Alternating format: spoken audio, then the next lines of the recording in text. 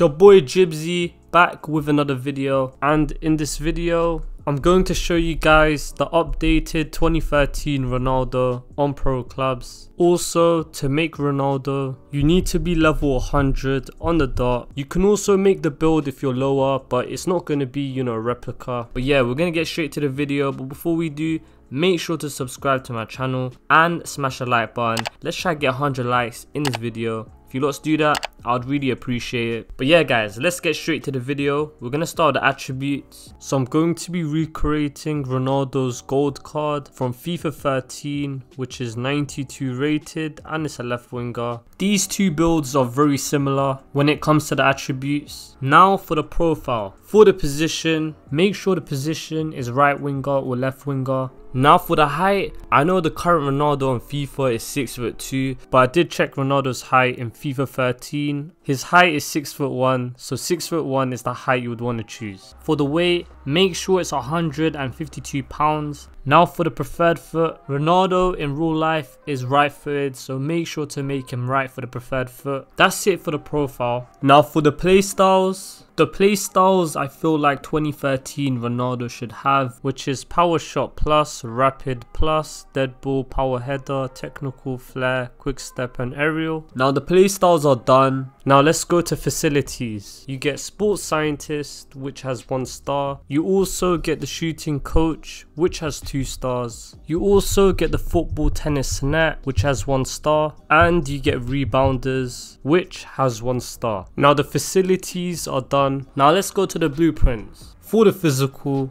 these physical attributes are looking good. You get 81 jumping, but don't worry, the jumping will get boosted in game because we do have the aerial playstyle. I've tested the build out and I've scored so many headers with this Ronaldo build. Now for defending, make sure to skip it. For dribbling, the dribbling is looking good. And we also have a few dribbling playstyles which will improve your dribbling in game. Also, Ronaldo has 5 star skill moves in the game, so make sure to add that. Now for the next section, which is passing, make sure to skip it. Now for the shooting, the shooting is very good. You can also play striker with the build as well. This build also comes with a few shooting playstyles such as you know power shot. So you basically have 99 shot power and dead ball which will help you guys you know score free kicks like Ronaldo. And probably the most important you know shooting playstyle which is the power header playstyle. This playstyle is very important, it's going to improve your heading accuracy so much in the game. And as I said before I have tested the build out